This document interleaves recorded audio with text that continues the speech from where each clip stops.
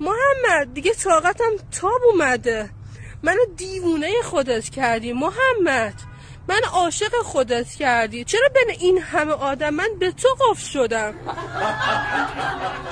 تو خودت به من پیشنهاد دادی که ما زن شوهر شدیم. چقدر من می اومدم به عشق تو توی اون مرکز بهداشت امام جماعت بودی که هیچ زنی جرأت نکنه سوال شریع از تو بپرسه. محمد خیلی حرف دارم و اینجا جاش نیست. می‌دونم تو عصبانی میشی حریم خصوصیمونو برای مردم بگم ولی بذار بگم از خدا که پنهون نیست. از مردم چه پنهون باشه؟ عزیز دلم فدای تو بشم من. چی شد اون همه عشق و علاقه؟ محمد مثلا باورم نمیشه الان تویی با من قهر کردی. عزیز دلم من دوستت دارم من عاشقتم. لطفا اینو باورم کن. که من تو رو دوست دارم محمد. من اگه بخوام این همه خدا زیبایی به من داده. فکر می‌کنی نمی‌تونم؟ این همه آدم عاشق منن؟ به غیرتت بر نخوره. ولی من فقط عاشق تو هم محمد جان. عزیز دلم.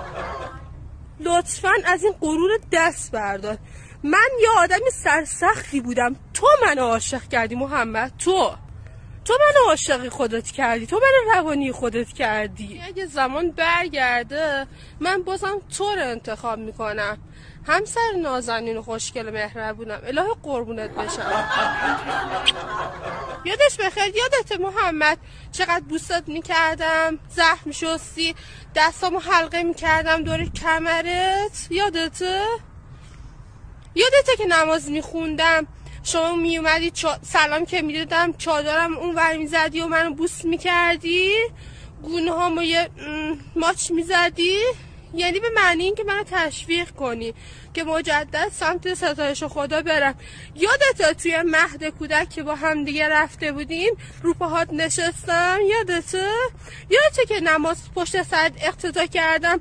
با انگوشه دستت اومدم اینا چیز کردن تسبیات اربعه رو گفتم.